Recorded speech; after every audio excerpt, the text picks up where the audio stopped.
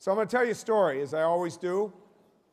A few months ago, we were looking for some new board members for the company.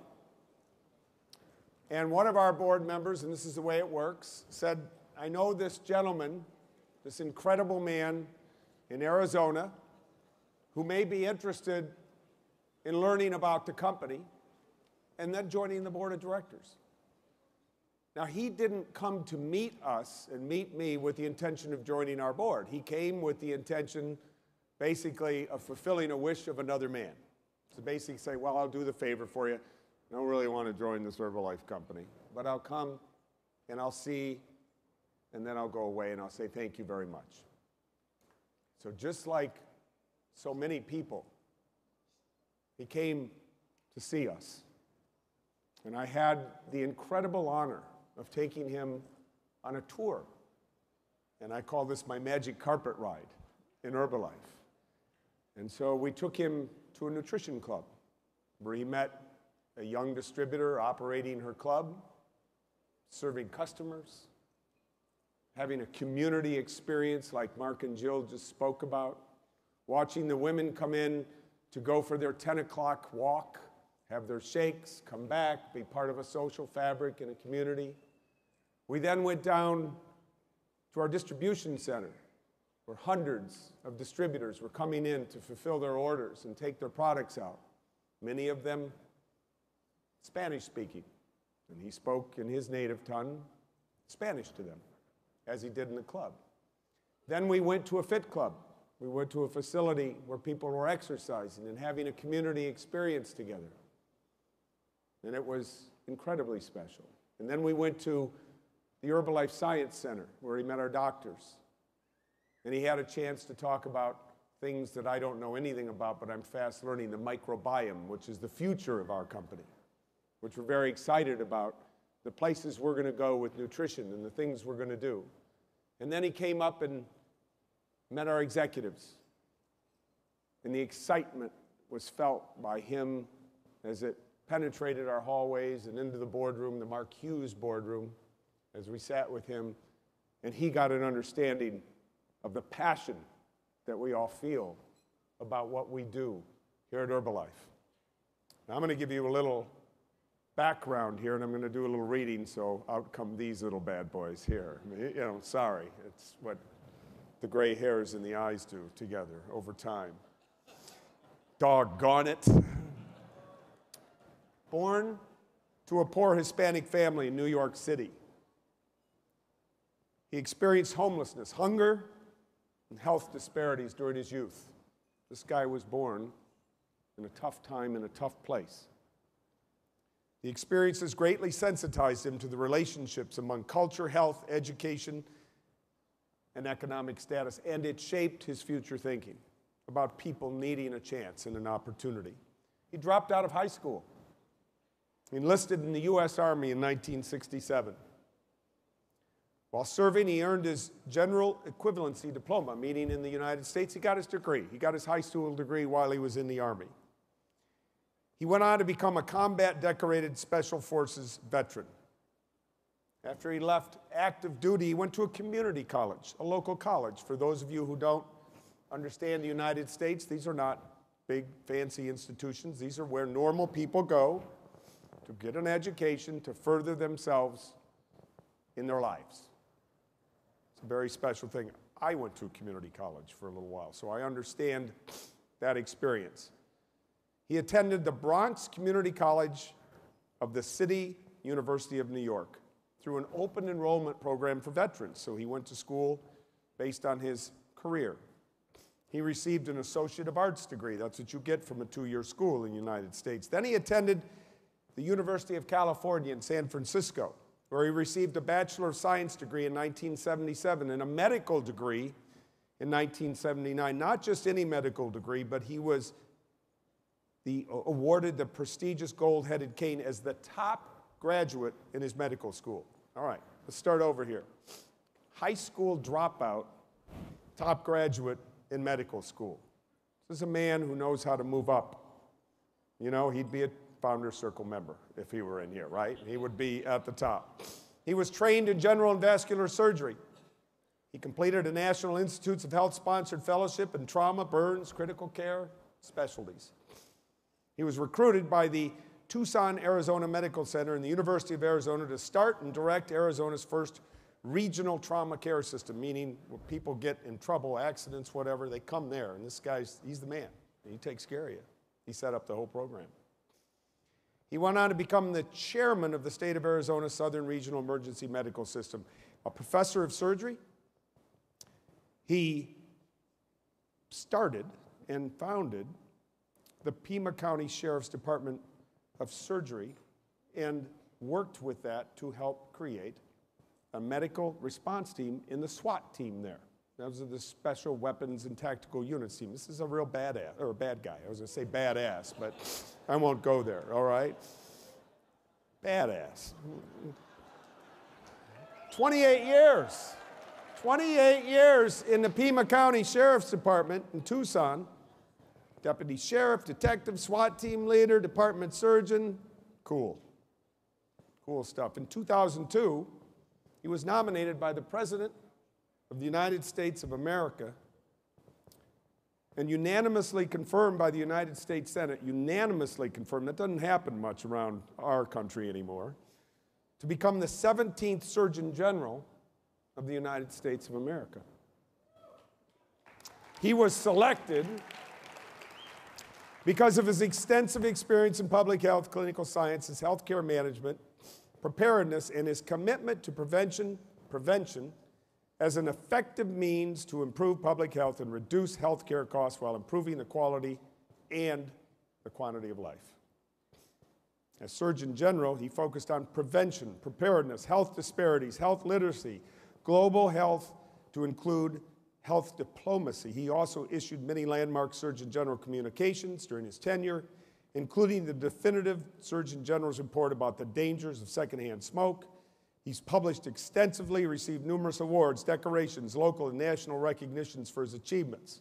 He's a strong supporter of community service and has served on community and public and private national boards, providing leadership to many diverse groups. He has a list of medals he won Purple Heart's National Medal of Valor, this is a very cool guy. After our meeting with him, we went back and we had a conversation, and he said something interesting to me. He said, What you are doing at Herbalife is what I wanted to do as the Surgeon General of the United States of America. What you're doing here. He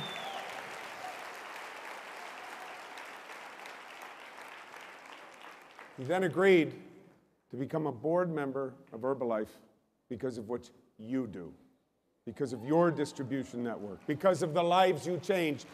Would you please give a warm welcome for Herbalife board member, the 17th Surgeon General of the United States of America, Dr. Richard Carmona. Ladies and gentlemen.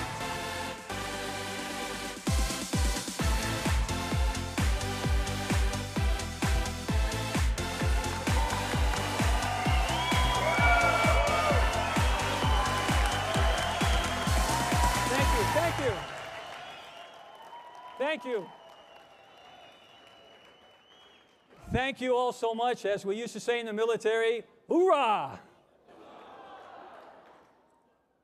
I am not a badass. I'm a guy who's gotten pretty lucky and now have a bigger family than I ever had in Herbalife. So thank you. Thank you.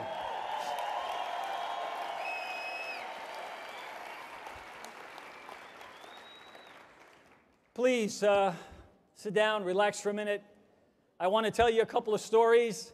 I want to tell you how happy I am to be here, how proud I am to be associated with you. But most importantly, I, I want to thank somebody because it was Michael Johnson and a board member that I know who's on your board who had the foresight to say, Rich would be interested in this company.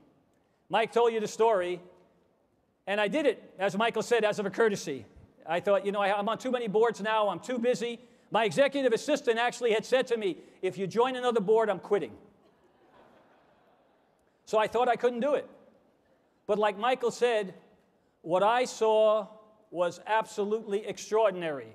And the conversation that I had with him after that first and second day, and meeting all of you, going to a distribution center, speaking to so many people And that's when I said to him, if I had known Herbalife when I was Surgeon General, it was the thing I lacked to connect to the people. It was the distribution network for health over the whole world that I could have been much more successful. That was really my only regret. But I said, I got a chance now to join them.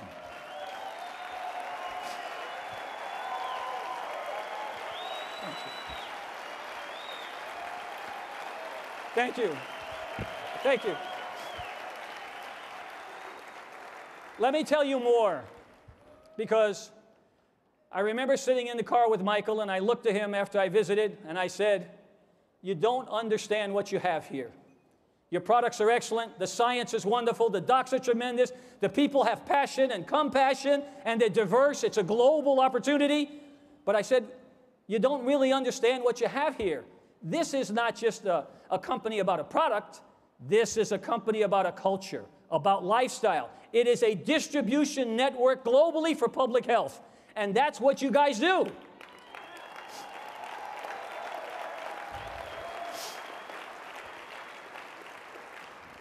So let me tell you a little bit about myself and why I'm so pleased to be here. You heard a little bit about my background. You know, it, it's, um, it's always challenging for me when people look at my resume. I don't like to talk about myself. In half of my first half of my life, I was a miserable failure. I let down a lot of people. And I wasn't proud of that. But I live in a great country that offers you opportunity, like Herbalife does to so many people. It's about opportunity for everybody.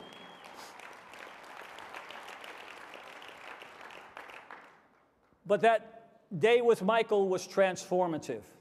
So I want to give you a little about my background so you can see my passion, how I see the world, tell you a little bit about the disease and economic burden in the world, and how you all, every single one of you who make the commitment here with our company and our family, can be a, a solution for not only our nation, but your nations and the world.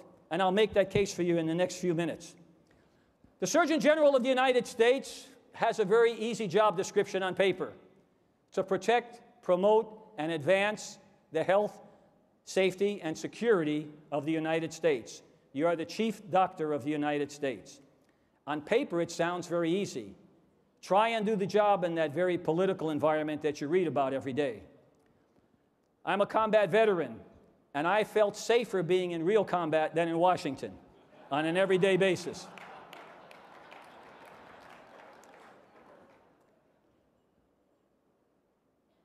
My parents were immigrants, like many of you. My parents spoke English as a second language. They spoke Spanish first. And I grew up in a house that spoke Spanglish. Okay?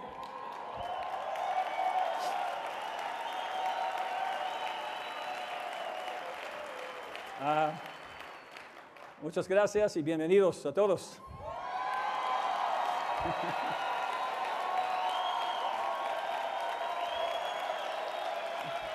Thank you.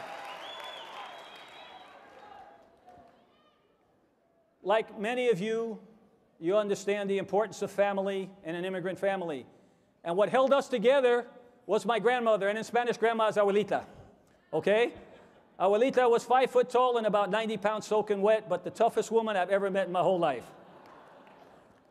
And she's the one that gave us our passion for life, who told us that this was a country that was filled with opportunity. And yes, we're poor and it's tough. Unfortunately, my abuelita died at an early age, and we lived in Harlem in New York City. For those of you in New York City, it's, that's the hood, okay? Yet we were all poor. On my block, I didn't know anybody who graduated from high school. If you had a high school graduate, it was a reportable event in my neighborhood. But we were happy kids. We went out and played. We played stickball. There was no organized things, Mom. We didn't have cars. We didn't get driven any place. You went in the street and played. You played stickball. We went to the park. I learned to swim in the Harlem River in New York. That's why I'm so healthy, because I've been exposed to every pathogen known to mankind.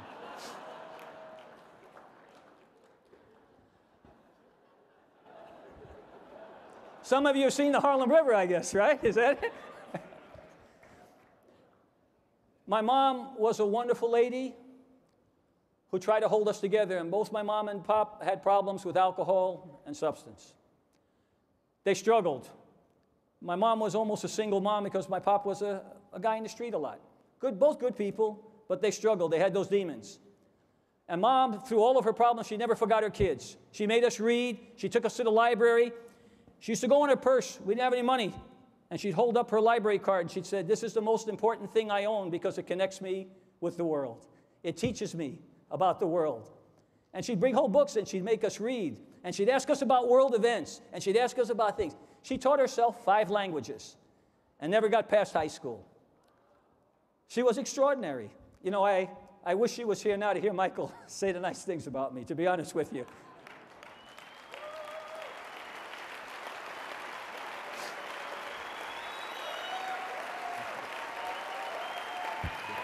Thank you. But mom, mom was a woman before her times. Back in the 50s and 60s, when I was, you know, a little guy, she'd make us sit at the table at night. We lived in a little tenement, roach infested, mice, single light bulb from the ceiling, a little metal table. And she'd make the kids sit there, and she would talk to us about the world and about history and making our name for ourselves. And we don't have to be this way if we get an education because she said they'll take everything else away from you but if you get educated, they can't take that from you. And she would say things to me that I didn't understand at the time. You know, she'd say, Mijito, listen to me. Yeah, mom, okay. And she'd tell me about the world and leaders and wars. And, and I remember a couple of conversations. She said, Richard, and she spoke in Spanglish. She said, Richard, how many wars have women started? I said, Mom, I don't know what you're talking about. She said, How many? I said, Mom, I don't know. She said, Richard, listen to me. Women don't start wars. We are peacemakers. It's you guys that start the wars. Mi bueno, huh? but here's the important thing. The important thing that she said, and it, it, I learned so much because decades later, I finally realized how smart she really was. Because she said to me one day, and then she said it many times to me, she said, Richard, when you get older and you assume positions of responsibility, I was just trying to get out of high school, okay? But she, she sees my future long before I did. She saw potential in me I didn't see. She said, Richard, remember this. When women have an equal seat at the table of leadership, the world will be a healthier, safer, more secure place. She said that all the time.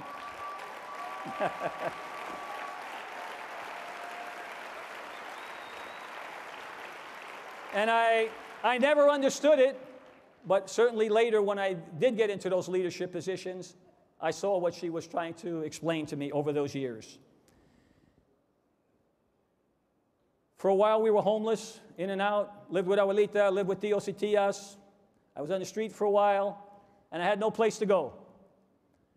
And yet, in a country that offers opportunity, it was the U.S. Army that gave me a chance because who else would take a child with no education, no training, no experience? And so this was 1967. Vietnam War was picking up, and I went to the recruiter. He gave me a big hug, said, Sit down, son. Gave me tests. Came back the next day. He said, My God, you are smart, son. He said, If you just sign this paper, the Army's going to take care of you. And he said to me, If you join us, we will make you all you can be. He didn't lie because they gave me an opportunity. They taught me how to be a citizen, they taught me how to be disciplined. They taught me how to stay focused on a mission. They taught me how to complete a mission. They taught me about selfless service, the privilege of serving your country, and sometimes even putting your life on the line for that. It's a privilege to be able to do that. But as a 17, 18, 19 year old kid, you don't understand it. Now I look back at that gift they gave me because it's the platform I use for all my life and everything that I do. As I move forward, thank you.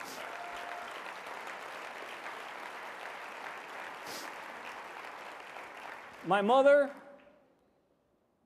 always used to say to us in Spanglish, I just want to live long enough to go to one of my children's graduation. She only meant high school because nobody had been out of high school. Nobody. But my two brothers, my sister, and I all failed her because we all dropped out. But every one of us, in second and third chances, eventually got out of high school. My brother followed me in the Army. He stayed 30 years. My other brother stayed in the workspace and he got a night school diploma. My sister, the same way we persevered because we recognized that, you know, life isn't easy. And the only difference between a person that fails and succeeds is that the person that succeeds gets up one more time. That's the bottom line. And I learned that in the military. I learned that in special forces.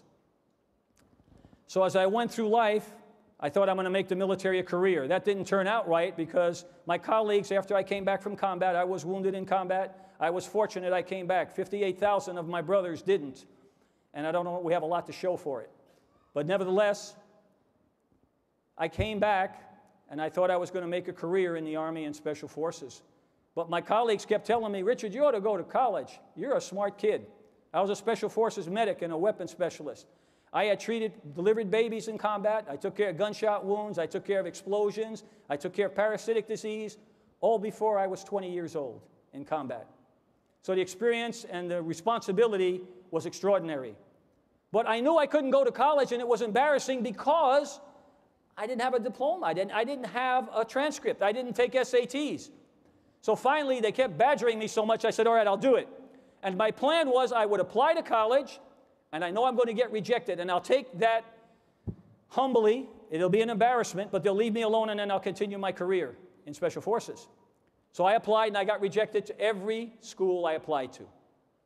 And then I got a letter from the Bronx Community College that said, Congratulations. And I said, Oh shit, I got to go to college now. I was like,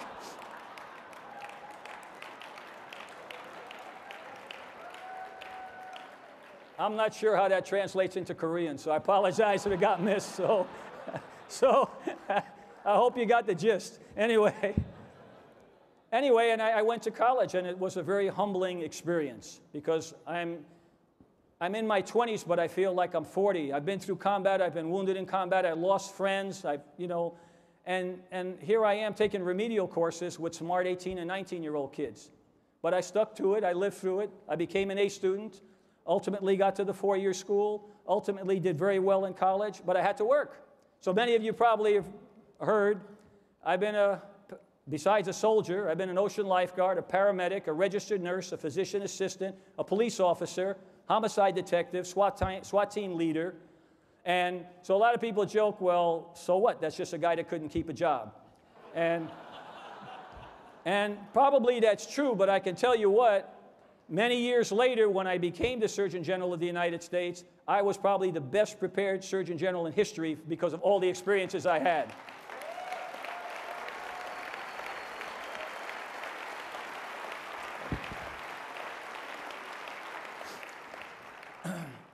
I then had that lofty dream. I said, you know, I might as well go for it. I have a job. I was working one or two jobs all the time, and I thought, let me apply to medical school. I applied, and I was fortunate. I got into several. I went to the University of California. I was the happiest kid in medical school. For the docs, my colleagues are in the audience, they'll tell you medical students are always complaining. There's too many books, too much to read, too much work. There's a paper chase. You know, they're, they're all anally compulsive. I was relaxed. I mean, you know, when you've been in combat and you're at death's doorstep, a test doesn't scare you anymore, okay? And so I did real well, and I did so well that I skipped my last year of medical school and I graduated number one in my class at the University of California.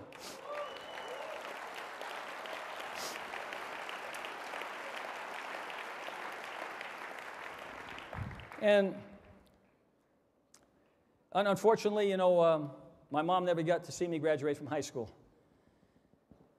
But I went ahead and I trained in general vascular surgery, subspecialized in trauma and burns and critical care, and I thought that's all I was going to do my whole life. I promised my family I'd given up being a police officer, but I kept doing it every year, and I did one more year, and 28 years later, I was still doing both jobs.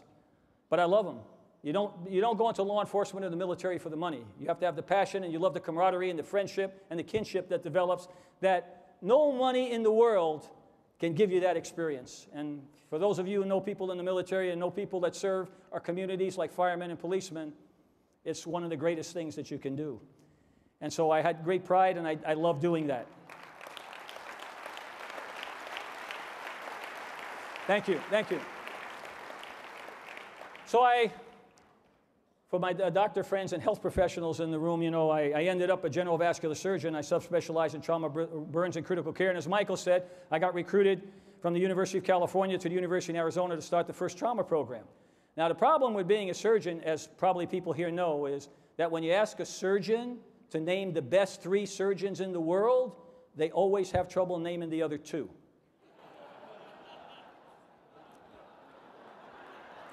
See, there, there's the late translation. See, it's coming in. So I did that, and I thought that was the end of it. But I got antsy again, and I wanted more education. So when I was a professor, I went back to night school and got a master's degree because I needed to know more about business. I needed to know more about the business of public health. And that's when I got the call that Michael told you about that voicemail late at night that said, Dr. Carmona, this is, gave his name from White House personnel. Would you please call us about a job? And I put down the phone. The first thing I did, it started laughing because I thought these goddamn cops and firemen that I work with will do for nothing stop embarrassing me. because there was no reason for the White House to call me. I've been independent my whole life. I've been very critical of both parties. And as you can see in our country, it's quite dysfunctional and the criticism is merited. Okay? So, so why, why would they call me? I mean, I wasn't buying into either side, to be honest with you. But you know, I thought there's no downside. I'll call this kid tomorrow and I'll find out what's going on. And I called him. He says, Oh, yeah, Dr. Carmona, this is so and so from White House personnel. We'd like to talk to you. Would you like to be considered for a job? And I listened to him talk. And I said, Well, what's the job? He said, The president's going to announce this week he's recruiting for a new United States Surgeon General. Since you've been in the military and have a lot of experience, we'd like to know if you'd be willing to be considered. So I'm holding the phone and I was laughing, okay? And I thought, surely this means there's another Rich Carmona in the country and they got the wrong one. So I said, okay, I'll say yes. In a couple of weeks, they'll find out they got the wrong guy, but I'll go to Washington, I'll meet some people, and, you know, I'll learn something. So I went through the process. That's exactly I, and every day my friends and I would laugh, the cops, the firemen, the docs I work with, because they, you know, people would say, why would they pick you? I said, I don't know.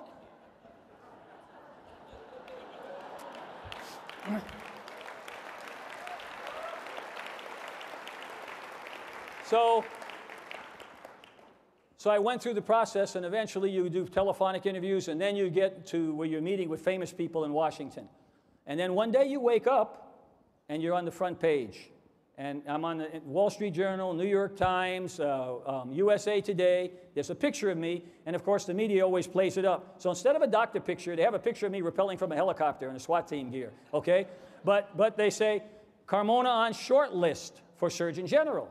Now, they never tell you how short the list is, okay? But what happens is that day you become a public figure. And then the, the, the whole process becomes intrusive and sometimes malicious because you, they, start, they start relating you to things that happened before you were born, crimes that occurred in your neighborhood, you know, and they, and, and, if they, and, they, and they say whatever they want to say because you're a public figure. So you hang in there and eventually I got through the process. I went through that. And I'll tell you the actual story. Eh, I hope I don't offend anybody. I want to tell you exactly what happened. After a few of those interviews, I made up a little card, a three by five card. I had it in my pocket, and I called it My Rejection Speech with Dignity because I knew they weren't going to give me the job. And on the paper, I wrote a paragraph that said, Thank you for the opportunity. This is when they tell me, you know, they'll they call you and they tell you you're a great guy, but then at the last 30 seconds, they say, But we're not going to take you. We're going to take somebody else. So I had this note that said, um, well, please tell the president I appreciate being considered. If there's any other uniform positions, I'd be happy to be considered, et cetera, et cetera, et cetera. So finally, we're getting down, and I know it's getting close. One day I get a call. It's the chief of staff of the White House. And he says, Dr. Carmona? I said, yes. I took out my card. I put it down. He says, we'd like to know what you're doing on March 26th. I said, Who's we? He said, uh, The president and the cabinet would like, you know, March 26th. I said, Oh, okay. He said, Well, wait, wait. He said, We really want to know what your family, especially your children, are doing. And I thought, Oh, hell, they want to interview my kids. I'll never get the job.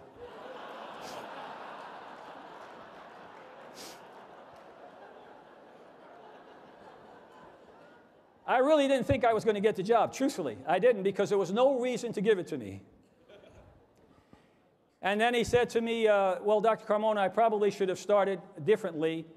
We just had a meeting with the president and cabinet members that are interested. Uh, the president would like to know with you and your family come to the White House on March 26th, where he will announce that you will be his nominee.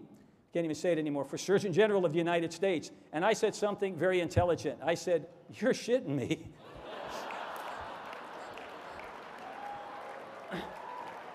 And, yeah, and he said, No, sir, I'm not. so your life changes, you know. You go from being anonymous to being potentially the doctor of the nation. You eventually have to go through Senate confirmation. It's a long, arduous process. You get beat up pretty good. It's a combat zone. But then I became the first Surgeon General in history to be confirmed unanimously by the, by the U.S. Senate. Thank you. Thank you. Thank you. Thank you. Thank you. Thank you. Thank you. Thank you. Thank you. Thank you. So, it, you know, it's been an extraordinary journey for me. You know, I'll tell you a funny story. When I became Surgeon General, you're in uniform all the time, you're an admiral. And so I'm all over the world, and when I got a weekend off, and I flew back to Arizona, and I hadn't seen my kids. I was tired. The plane, I land in the plane, I get off. I take my uniform off, and I put my usual uniform is a t-shirt and running shorts and my workout clothes, because you know, like the rest of you, I work out all the time. I eat healthy. That's just my life. So my kids are at the house with their friends, and they say, "Hey, Dad, great to see you. You know, why don't you come to lunch with us?" I said, "Yeah, let's go." So I take the suburban. There's about ten kids in the car, and we go to their favorite fast food place. Now remember, I'm Surgeon General now. So we go in and they all go order their big meals and all the stuff. And, you know, and everybody knows me at home. So I step in and it's a lunchtime and it's crowded. And as soon as I step in, I'm a t-shirt and shorts and everything. And everybody's looking at me just like you guys are. And it's like you feel like you're a naked Surgeon General. You know, they're kind of like, oh my God. So I go to the far table in the back. And that's probably pre-programmed because most cops, when they eat, they go to the back table and put their back to the wall. And, but I went there because I wanted to stay below the radar. So the kids go buy all their food and they come back. And they said, You want to eat? Oh, no, no, no, no. So my son has his big meal in front of him. He pushes it in front of me. Now everybody's watching me in that restaurant. And he's got the supersized fries, you know? So he throw and instinctively he throws me the fry, and, and instinctively I pick the fry up. Everybody in the restaurant's watching me. Okay? So I drop the French fry. I drop the French fry. So, so I tell my son, I say, Rob, Dad's got this new job, and we cannot do this French fry thing in public anymore. It just ain't going to work. So your life changes. You become a very, you know, a public figure. One more story, and I want to take, get to a couple of other things. I was at a press conference early in my term as Surgeon General. And they were asking me about everything from weapons of mass destruction and terrorism and food and acupuncture and Zen and obesity and then, you know, the reporters in the beginning, they always ask you. It was funny. It was almost, I, you know, I should have been shocked, but they'd ask you questions like, well, how come they picked you? How are you Surgeon General? You know? It was like they're, they're saying they made a mistake, you know? And so I never had an answer. I'd say, well, I don't know. I went through the process. I interviewed. I was professional as I could be. And then one day I just was feeling a bit funny. And in the press conference, the reporter said, so Surgeon General Carmona, did you know the president? Did you know the secretary? How, you know, you kind of came out of nowhere. How did you become the Surgeon General of the United States? And I said, ma'am, let me tell you why. I said, I think the reason is it's probably the most far fetched and unusual in federal hiring practices. I was qualified.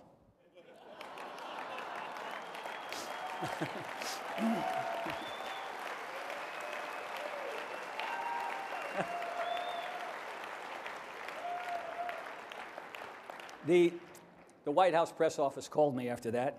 They didn't think it was very funny. I thought it was pretty damn funny, actually. So, all right. So, with all of that, why join Herbalife? I sit on many boards. I have small companies that I'm developing, uh, mining science. I, I have so much opportunity now. I am so lucky that I live in this great country that afforded me all of these opportunities after I failed so miserably that I had a mom that was strong and an abuelita that was strong that believed in me when I didn't believe in myself.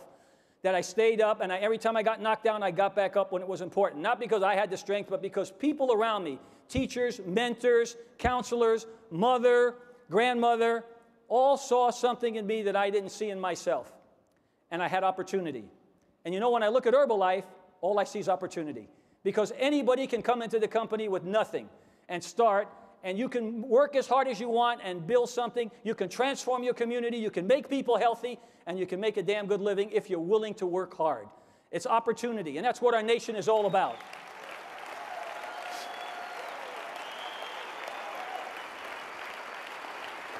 Thank you. Thank you. Thank you.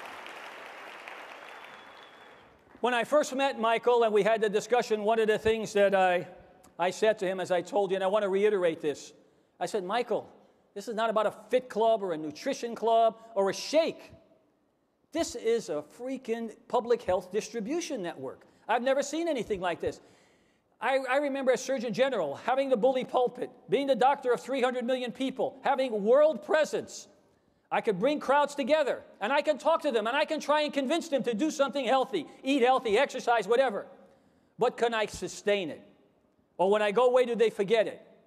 You have a distribution network that, devel- that delivers content, delivers product, and then there's sustainable change. I've been to those nutrition centers. I've been to the Fit Center and seen people who are losing weight, seen people who are healthy, seen people who are making a living, seen people who hire their brother, their sister, their mother and bring them in, and you have a small economy that's growing.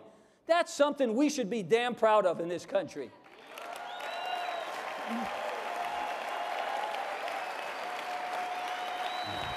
Thank you. Thank you. Thank you. Thank you. Thank you. As I told Michael that day, the only regrets that I have as it relates to, to Herbalife was that when I was a child and my abuelita and my mom were struggling, that we didn't have something like Herbalife that we could have gotten involved in to pull us out of poverty, to make a living, to eat every night, to have a stable life. But now we have that here. And the other thing that I regret is, as a Surgeon General, I didn't know Michael, I didn't know all of you. Because had I, had I known you, I would have humbly come to the biggest meeting you had and asked you to let me partner with you and join your family so we can get this good information out and these good products and healthy things and change behaviors, not only in the U.S., but the world that you all represent. That's what we need to do.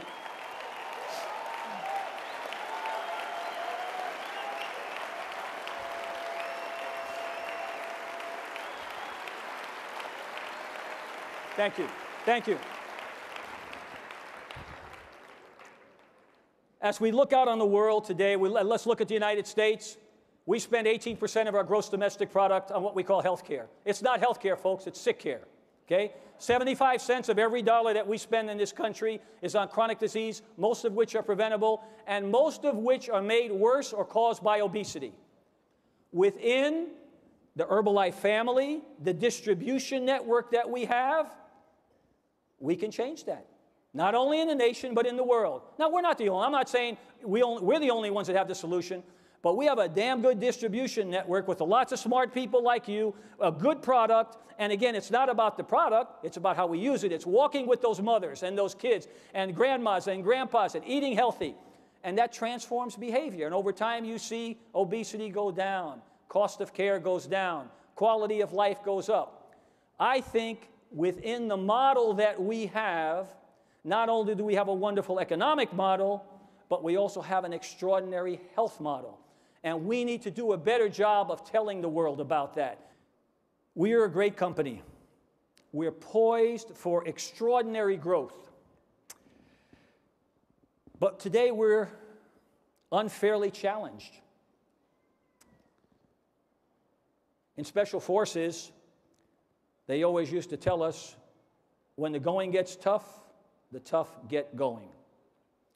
We will come out an even stronger, better, more efficient, more effective company because of these unfair challenges. So we welcome them because we will be better when we come out the other end.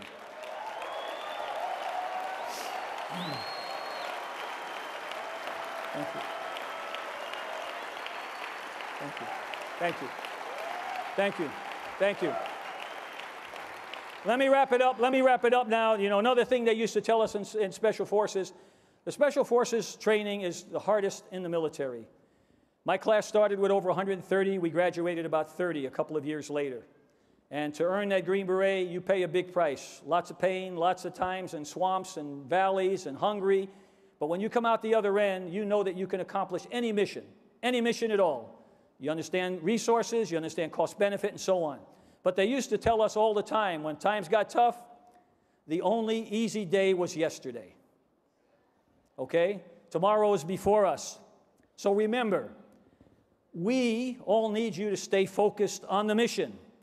Be each and every one of you should be able to articulate our vision and our mission with clarity, health literate, so that every person that you know can understand it at the grassroots level. Our scientists can talk about the genome and the epigenome. They can talk about genetics. They can talk about molecular stuff. That's great because that's the science, as Michael said, that's going to drive the company and make us even bigger and better and badder in the future.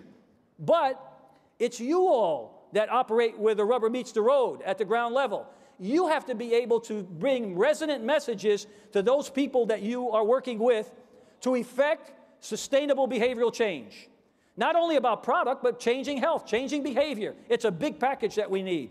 You all have the power to do that. You have to be able to concisely articulate it. That's why our scientific advisory board, our big board that I'm on, Michael directing us, looking at that and saying, okay, let's get our messaging down. Let's make sure that every one of our distributors, members, knows what it is we can say and what we can't say. So we don't have people accusing us of things.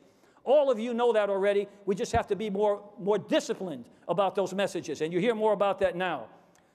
Michael Johnson, me, and the board know that our strength globally is in our integrity, our culture, our products, but most important, it's about each and every one of you because each and every one of you are our premier salesman. You're the one that represents us. You're the one in your communities and your families that talk about the company with passion.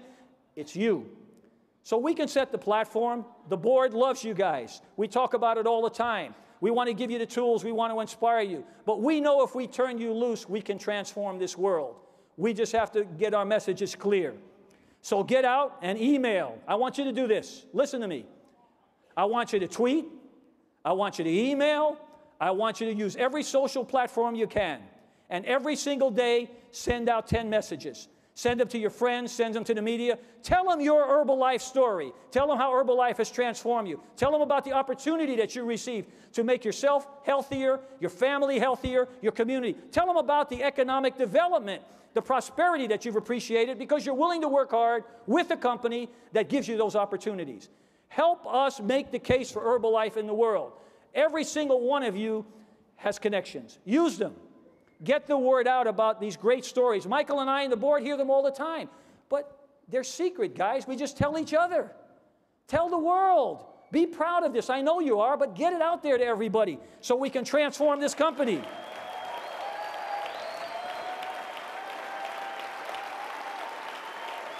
Thank you. Thank you.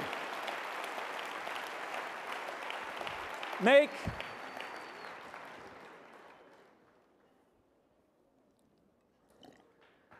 Make no mistake, we can and we will make the world a healthier place while delivering enormous value to you and your communities. I am ecstatic and proud to be part of your Herbalife family. I thank you for the warm welcome and treating me as if I was one of your children. I'm thrilled to be with you. You have all been so kind to me to give me this warm welcome. Now it's time to move onward let's show the world the great company that Herbalife is. Thank you very much.